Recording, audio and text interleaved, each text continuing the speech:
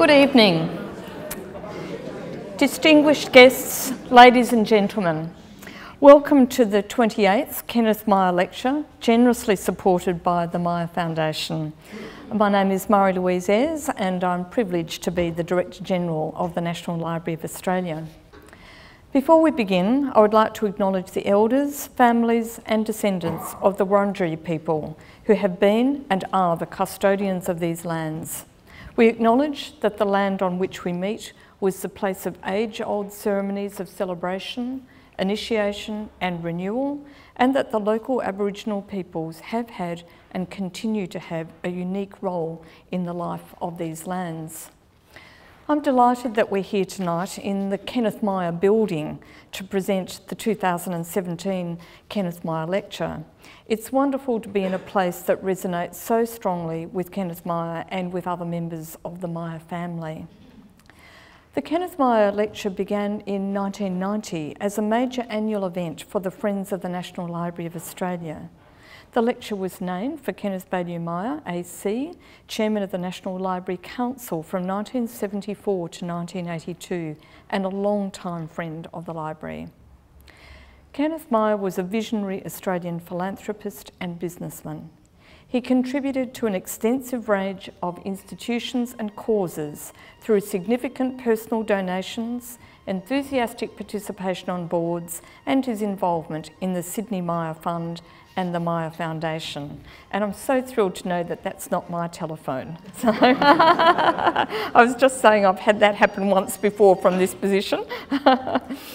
A generous supporter of the National Library of Australia, Myer was a founding member of the National Libraries Council in 1961, prior to serving as its chairman from 1974 to 1982. So I think you can see how long that association was.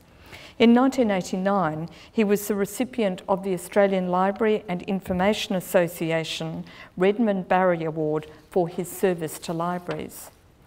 For 28 years, the Kenneth Myer Lecture at the National Library of Australia has provided eminent Australians with a forum to speak their minds and contribute to national debates. The lecture has been presented by a whole panoply of thought leaders from the Honourable Gough Whitlam to Professor Fiona Stanley, and most recently, former Australian of the Year, Professor Mick Dodson, and arts and media champion, Mr Kim Williams. This lecture series would not be possible without the support of Kenneth Myer himself, the Myer family, and since 2015, the Myer Foundation. So on behalf of my colleagues and, and of you who get to hear this lecture, I offer heartfelt thanks to the directors of the Myer Foundation and the President, Mr Martin Myer and Mrs Louise Myer, who are here tonight for the Foundation's continuing support of the lecture. Now, it's my great pleasure to introduce Dr Anne Summers to deliver the 2017 Kenneth Myer Lecture. Anne is a best-selling author, journalist and thought leader who has had a long career in politics, the media, business and the non-government sector. She's the author of eight books, including the classic Damned Whores and God's Police, first published in 1975. She's been editor-in-chief of Ms, the landmark US feminist magazine, and her 1988 purchase of Ms and Sassy magazines with business partner Sandra Yates remains one of only two women-led management buyouts in US corporate history. Her professional life has seen her run the Office for the Status of Women, now the Office for Women, during the Hawke government, and she also advised former Prime Minister Paul Keating on women's and other issues in the lead up to the 1993 election. On matters of gender equality, social responsibility and social justice, Anne Summers' articulate journalism, politics and activism call us all to account. Um, I'm very uh, thrilled to say that the National Library is the custodian of Anne's papers, and in fact, a whole troop of elves are going to be busy next week um, packing up the next tranche to bring to the library. So Anne's career will be um, documented in meticulous detail for generations to come. So please welcome Dr Anne Summers to present the 2017 Kenneth Myer Lecture titled 2020 Vision, Where is Australia Headed?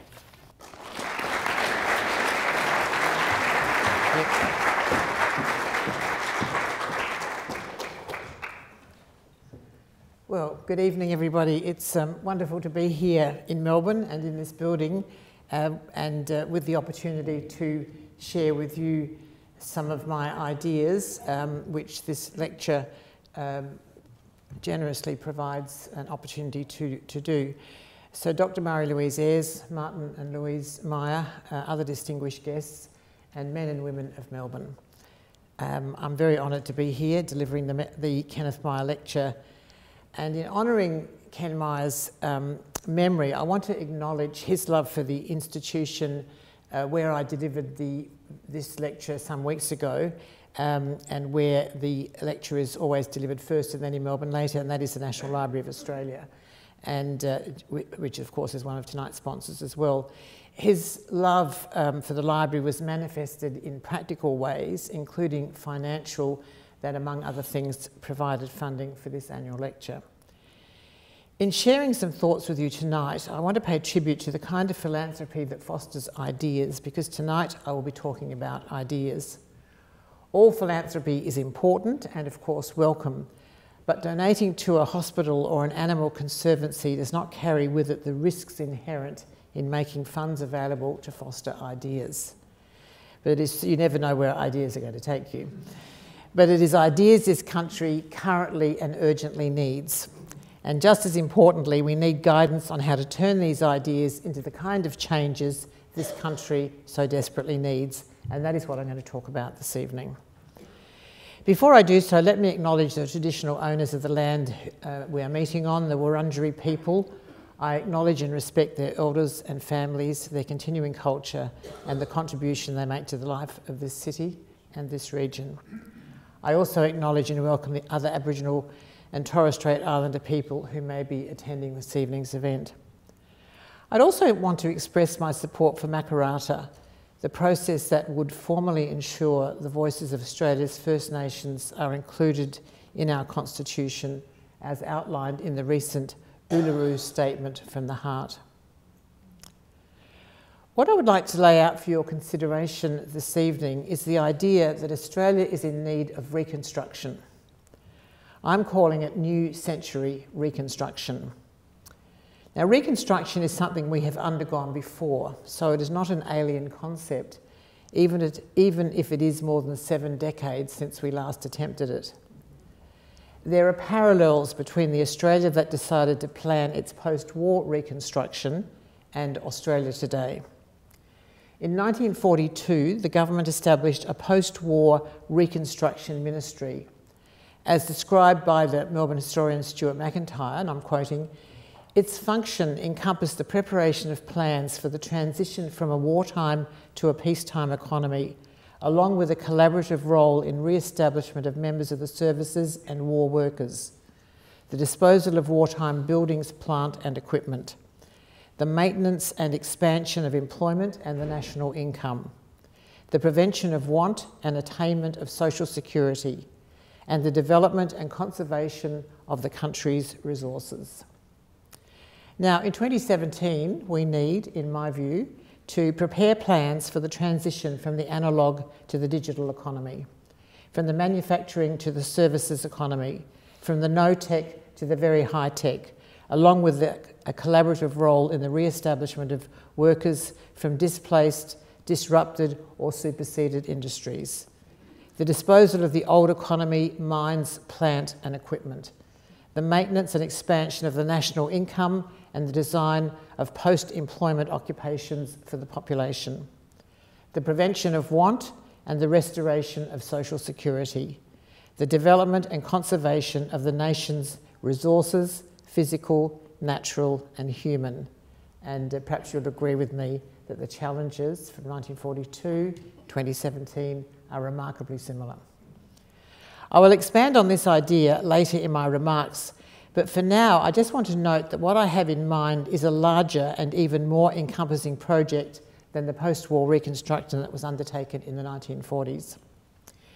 In the 2020s, we will need not just economic and social reconstruction, we will also need emotional and even spiritual reconstruction. We will need to rebuild our society to equip ourselves for the challenges of the future and to address the failures of the present. And in order to do this, we need to be emotionally and physically strong. We need to be up for what we have to do. When I decided to call this lecture 2020 Vision, I was thinking of a timetable. I was thinking not so much of a deadline, an end date, as a starting date for the new century reconstruction. This is less than three years away. It's urgent. But as well as a timetable, 2020 vision describes something else. It's a measure of vision. When we visit the optometrist and have our eyesight measured according to the Snellen chart, if we're lucky enough to have 2020 vision, we are considered normal. We do not need corrective glasses or contact lenses. We need such a test for our country as well. Not just to test our national vision, although it's a pity it's not possible to do that, but to measure what kind of corrections that overall as a country we need. As I will argue for the remainder of this lecture, I am of the view that we are in need of severe correction. If we were a person, we might well be considered legally blind.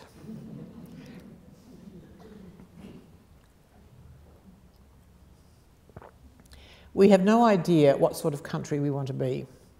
Unless we take urgent action, we will be entering the third decade of the 21st century directionless and unfocused in a world that is in chaos today and likely to remain so. This is why I'm advocating new century reconstruction. First, let's look at what's wrong with the way things are. Let me summarise. The benefits and the burdens of our society are unfairly distributed.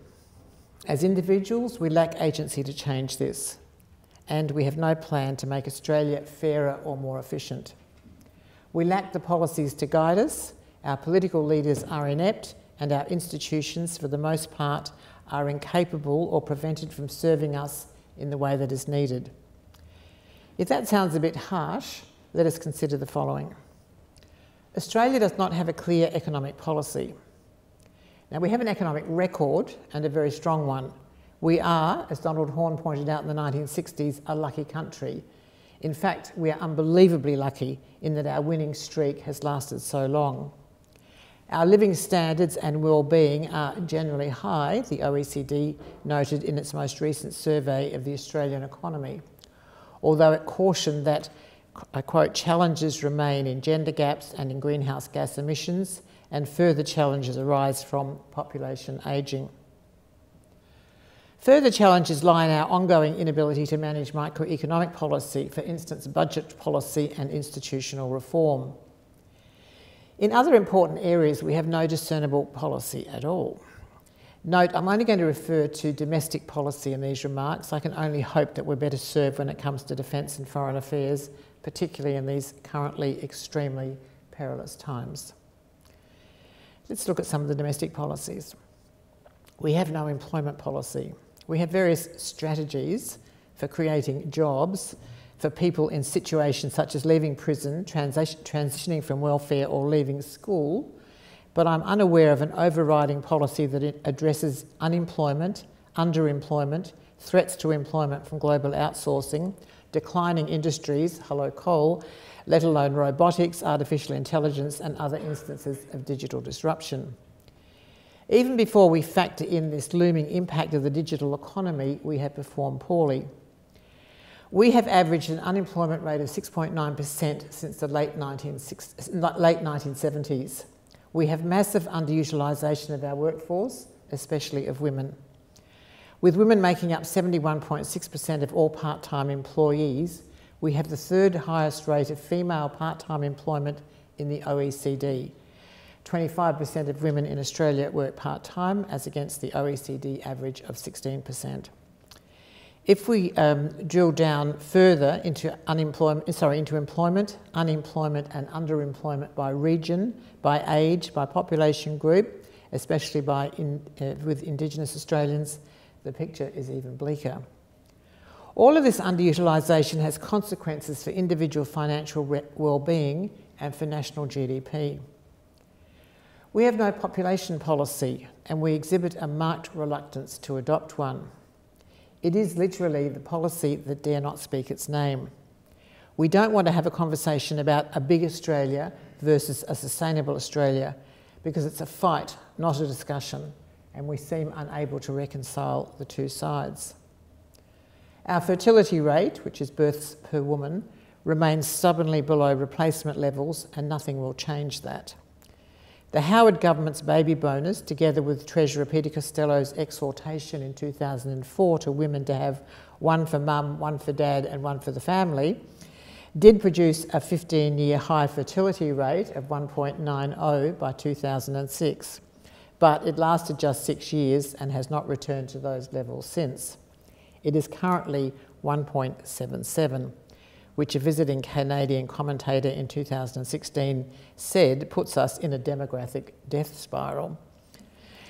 We rely on immigration to grow our population and to keep it younger than otherwise would be.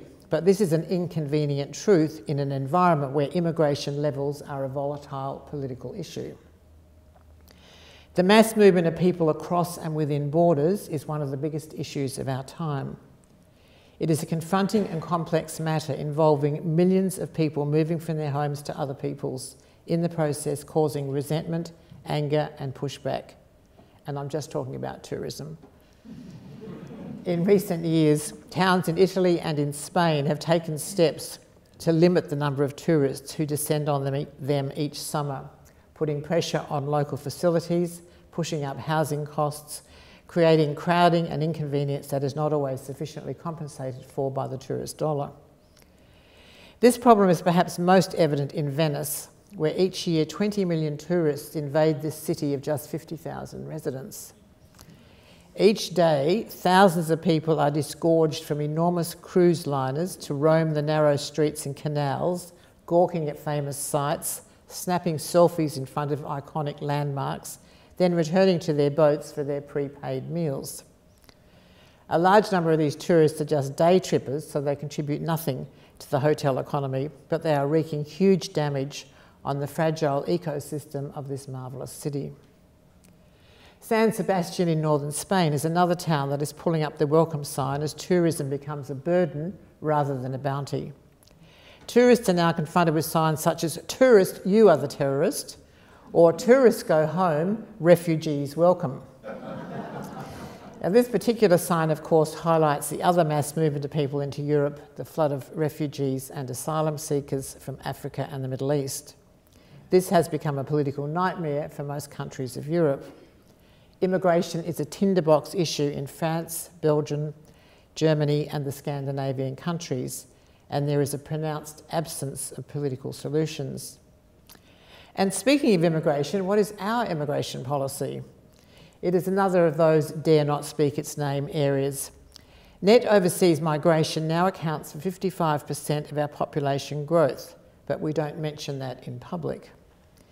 Immigration policy has been conflated and confused with refugee policy, and our political leaders have seemingly encouraged this by subsuming immigration within the Department for Border Protection. Now, with the proposed, or I think it actually has just happened, hasn't it, this week, uh, Department of Homeland Security about to swallow up that department, immigration will perhaps only be viewed via a border protection and security lens. How will this affect our population's growth and age if we lose sight of the demographic imperatives of continued immigration? I could go through any other any number of policy deficits. What is our cyber policy, our cultural policy, our energy policy, our digital policy, our incomes and wages policy, our housing policy, our retirement incomes policy, our welfare policy, our industry policy, our environment policy. There are undoubtedly many other areas and issues where spending and other decisions are made without the benefit of an overarching policy.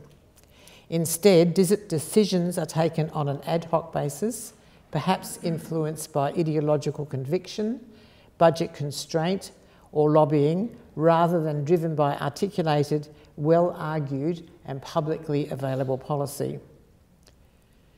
Now, the absence of policy means reduced accountability because there are no benchmarks or goals against which activity can be measured. Absence of policy also means that government occurs within a vacuum rather than, rather than within an electorally endorsed framework that defines our national aspirations and priorities. Now, while I'm quite confident that our political leaders are sincere when they say they are governing in the national interest, I wonder if, them, if any of them could tell us what the national interest actually is. At the same time, we voters have reduced agency. We have little or no power to even confirm, let alone decide, what country we want to be and how we're going to get there. At election time, when political parties seek a mandate to govern on our behalf, the recent tendency is for political leaders to speak in slogans. We get to decide our future on the basis of a catchy phrase, a string of words. We vote for nouns jobs and growth, border protection, debt and deficit, whatever they might mean.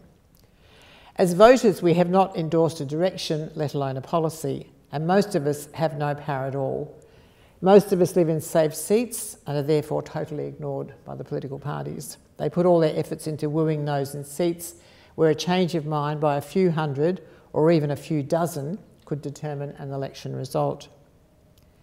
Elsewhere in the world, we have seen the votes of a, mon a, minority of the population deliver calamitous outcomes. I'm thinking of Brexit and the election of Donald Trump as the President of the United States. Our system has seen parties winning government without winning a majority of votes, and we know that senators can be elected with just a handful of primary votes. But in the House of Representatives, we are at least protected against a small minority determining who sits on the Treasury benches. However, as citizens, we have no influence on who is nominated for pre selection by our parties. We have no redress if we feel that those who are nominated and who sit in the Parliament are increasingly unrepresentative of popular opinion on contentious issues such as climate change, same sex marriage, or abortion. If we feel politically marooned, all we can do is protest, seek out third party candidates, join in the wave of so called populism. Once in power, our governments are becoming less accountable by being less transparent. There are a number of disturbing examples of this a great deal of policy is now outsourced. The beneficiaries of this practice, including the big accounting firms, the, the accounting firms, especially the so called Big Four, they have seen their expansion into government consultancy bring in lucrative returns. In the past three years, these four companies have been paid $1 billion to do work that was once done in the public service. Senator Nick Xenophon has called for public disclosure of the details of the, of the policy work done under these contracts. It seems extraordinary that this is not public information. Now, while our democracy is not challenged or overtly threatened in the same ways as is happening such as in countries such as Turkey or the United States, we should still be worried about unaccountable and possibly corrupt practices. We do have the covert subversion of democratic processes where governments are influenced in their decision making by the efforts of lobbyists for special interests. Often, perhaps more than we realise, these influences are not disclosed. Sometimes they are even disguised so that the opposition, the media, the electorate, and I suspect even the government is not always aware of who is pushing for particular outcomes. They are not open to any kind of scrutiny, and therefore none of us are any the wiser when a particular decision may have resulted from what lobbyists like to brag about as fingerprintless campaigns. Also of great concern should be recent examples of ministers going straight from the cabinet room to post parliamentary employment with companies directly affected by their former portfolios. Andrew Robb, the trade minister in the last government, took an 800,000 uh, Uh, a year job with a Chinese trade company days after the 2016 election. And just a couple of weeks ago, it was revealed that Bruce Billson, the Minister for Small Business until the 2016 election, was actually on the payroll of his future employer, the franchise lobby, while still sitting at the cabinet table. It's time to change all this. I think we can learn quite a lot about how to approach this massive project from the post war reconstruction model and the people who made it happen.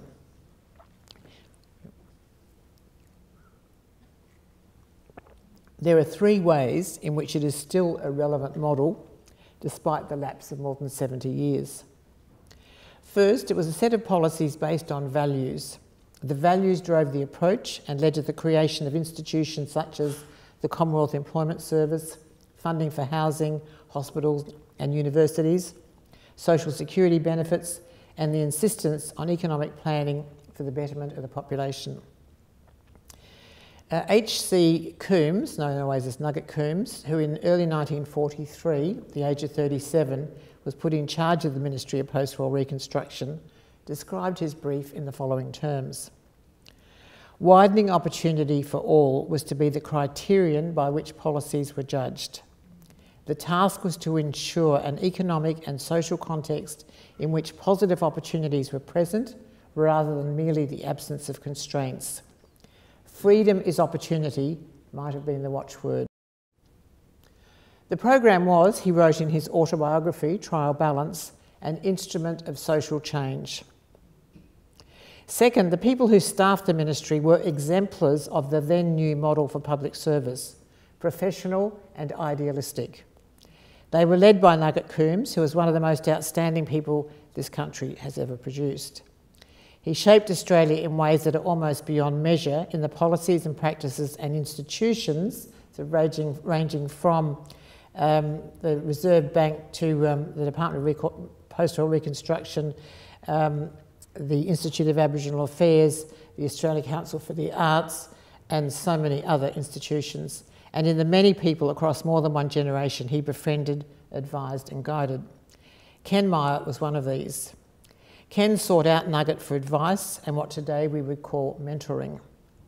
He was influenced by Coombs' belief that wealth ought to be more equally distributed and that people in commerce and industry had a responsibility to financially support the arts.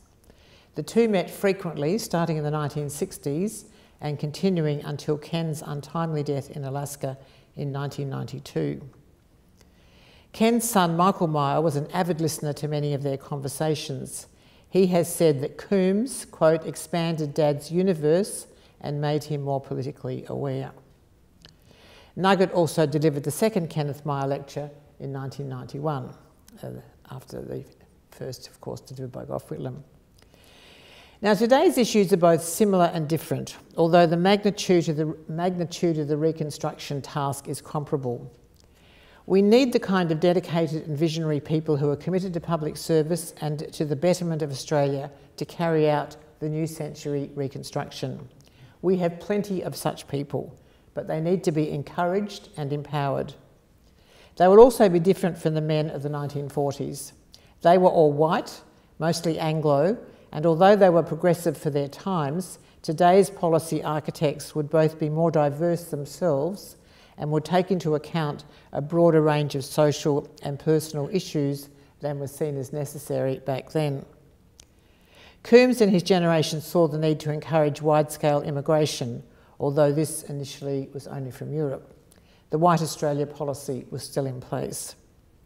They also recognised the need to deliver justice and empowerment to Australian Aborigines, and indeed sought the extension of Commonwealth powers to do this and many other uh, reforms in the referendum of 1944 that was rejected.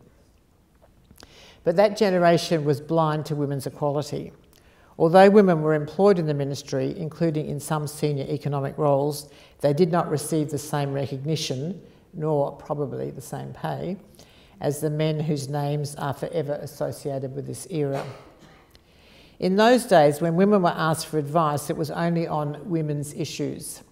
For instance, during the panic about the declining birth rate, Dame Enid Lyons and Lady Cilento were asked in 1944 by the Director General of Health who was working in concert with post-war reconstruction to report on childbearing.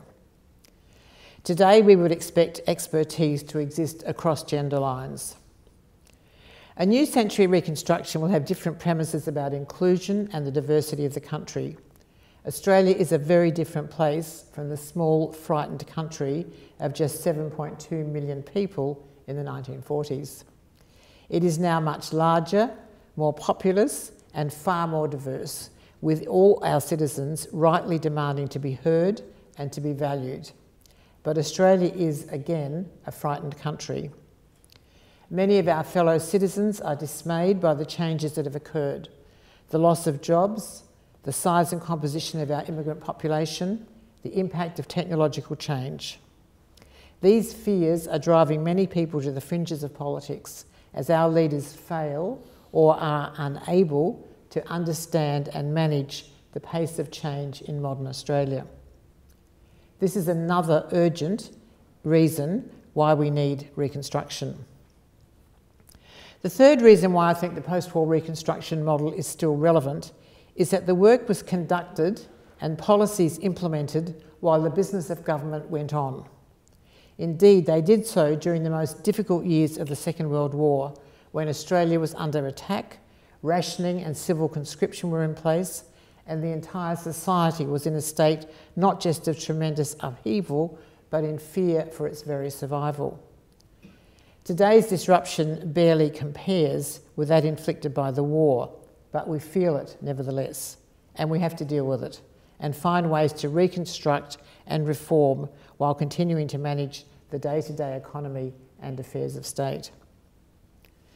Now, I've only been able to give you the barest outline of why I think we need reconstruction and how it might happen, but I would like to give two specific examples of how we might go about starting the process of a values or principles driven approach to policy making and change.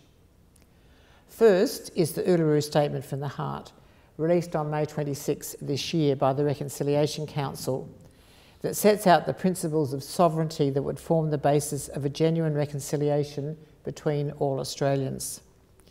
That statement can and should guide the specific policy steps that are needed to achieve this. My second example is far more detailed, and I'd like to conclude tonight by taking you through the Women's Manifesto, which is a document which I have written and which I released on March the 8th, which is International Women's Day this year. Now, the Women's Manifesto does not have the endorsement um, of a wide community in the way the Uluru Statement does, but the many audiences to whom I've presented it since its launch have responded with approval and acclaim. So I present it as a policy tool in its own right, but also as a template for other areas of policy. I should also add the caution that because it was written as a manifesto rather than just as a policy document, it's written in the language of advocacy rather than boring bureaucratese. Um, I could have translated it, but I decided it was not necessary because the felt need for change is as legitimate a driver as anything else, I think. Hope you think too. The manifesto lays out four principles of women's equality. Firstly, financial self sufficiency. Secondly, reproductive freedom. Thirdly, freedom from violence. And fourthly, the right of women to participate fully and equally in all areas of public life. Now, I contend that everything that is needed in order for women to have full equality can be subsumed within these four basic principles. Policies, of course, are needed to implement them, and I have summarised these as follows. Number one, financial self sufficiency, which I define as um, having enough money or the means to earn it to not have to rely on anyone else to survive and thrive. In order to be self, financially self sufficient and therefore not dependent on a husband or other person to provide the basics of life, or to have the option of living a relationship that isn't working, girls need 12 years of school education that is equal to boys. Girls and young women must then have the same opportunities as boys and young men to enter post school education at university or technical college. They must be free to study all and any subjects and be encouraged to test themselves and branch out from areas that traditionally have attracted more women than men. If they wish, women should be able to pursue postgraduate education and be able to combine that with having a family if that is their choice. Women need to have the same employment opportunities and conditions as men, including full time employment. Women must receive equal pay and equal opportunities for promotion, for training opportunities, and the other benefits of their place of employment. Women must be free from sexual harassment and pregnancy discrimination. Childcare must be available, uh, flexible, affordable, and shared between all parents. Women must have the right to keep their jobs while pregnant and get paid parental leave when they take time off from their jobs to have the baby. Women must receive superannuation, including while on paid parental leave, and if necessary, receive top ups either from government or employers during their working life to ensure they have adequate retirement incomes. So, in other words, each of these principles and the policy that it outlines has a number of things hanging off it, which are designed to help achieve the, the principle. The second one being reproductive freedom, and that is the ability to determine when and if to have children. This is achieved by all women having access to effective and affordable contraception backed up by safe, legal, and affordable abortion. Women must have access to health services, including screening and care for female specific conditions such as breast, ovarian, cervical cancer, and other services needed to ensure sexual health.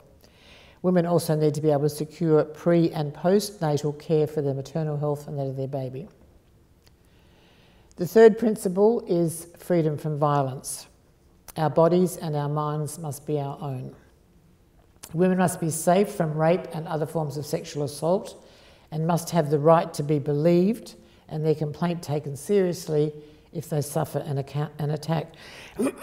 Women must have access to laws that adequately address all crimes of violence and legal services that enable them to seek advice and legal redress if they choose. Women must be free from domestic and family violence of all kinds physical, psychological, financial, and any other type of controlling and domineering behaviour on the part of a family member or intimate partner. Where needed, women must have ready access to emergency crisis services, including women's refuges, in order to be safe from violence or other threats. And finally, the fourth principle is equal representation and participation in public life. We should be part of all decision making in our society. And this means that women should participate in all areas of our society's public and economic life, must be represented fully and fairly at every level of government, including the public service, in the companies that make up our economy, the not for profit sector, arts organisations, trade unions, the military, and yes, the churches. Now, this is a deceptively simple agenda. I'd like to say that it is simple, but it will not be easy. So it's simple, but hard. It won't be easy to achieve them. Every single aspect requires laws, policies, programs, or other elements to make each goal realisable. So it's simple, but not easy. Now, to show how the principles of the manifesto can be realised, I've drawn up four specific policies, one from each of the four principles, and I recommend that these four reforms be implemented by 2022. And I've chosen that year because that marks 50 years since the election of the Whitlam government, the first government of Australia to commit to women's equality as a national policy objective. Implementation of these four policies would in itself represent progress in achieving the principles of women's equality. In addition, they would lay down markers for the full equality that would result from implementing the Women's Manifesto, in its entirety. These four specific policies are, I'll just say what they are and then quickly explain them. Number one, and this is, goes to financial self sufficiency, legislated equal pay for all women in all jobs. Number two, the decriminalisation of abortion in New South Wales and Queensland. Three, specialist domestic violence courts in every state of Australia. And number four, gender quotas dictating that women make up 50% of all parliamentarians, all cabinets and other ministries and directors of all public company and government boards. So let me just quickly spell them out. Legislated equal pay, um, which as I said is part of financial self-sufficiency. It's unconscionable that in 2017 Australian women still earn on average 20% less than men. In some jobs and in some industries the gender pay is considerably greater. Now, as Mary Gaudron, the first woman to sit on the High Court of Australia, famously said in 1979, she said, equal pay was won in 1969, won again in 1972, and yet again in 1974. But she said, we still don't have it. Now, it's 43 years since women first won equal pay. It's 37 years since Mary Gordon, Gaudron pointed out that women still don't have it. The industrial court system has failed to deliver, so it is now up to the federal government uh, federal parliament to legislate mandating equal pay for all women in all jobs. The Leader of the Opposition has said he is prepared to legislate to restore penalty rates abolished by the Fair Work Commission. If he can do it for fair, if he can do it for penalty rates, he can do it for equal pay. So could the government. It is constitutionally possible. All it needs is political will. Second principle, and this goes to um, uh, reproductive self reproductive control, decriminalisation of abortion in New South Wales and Queensland. Every other Australian state and territory has decriminalised abortion, including Victoria. Congratulations. It's time for New South Wales and Queensland to do the same. Thirdly, uh, specialist domestic violence courts in every state. Now, this is already happening in Queensland as a result of recommendations made by the Task Force on Domestic and Family Violence, headed by Quentin Bryce in 2014 2015. Following the successful trialling of such a court in Southport during 2015, the Queensland Premier um, made the commitment to create four other centres in major, four other courts in major centres across the state, and they have now all opened. Such specialist courts can provide expert handling of domestic violence cases as well as shining a spotlight on the extent and severity of such violence across Australia. And finally, gender quotas dictating that women make up 50% of all parliamentarians, cabinet and other ministers, ministries and directors of public companies and government boards. Now, it's clear that increased representation of women in all decision making organisations of our society is not going to happen organically. If so, it, or, or it would already have happened. Women have been graduating from universities in Australia in greater numbers than men since the 1980s.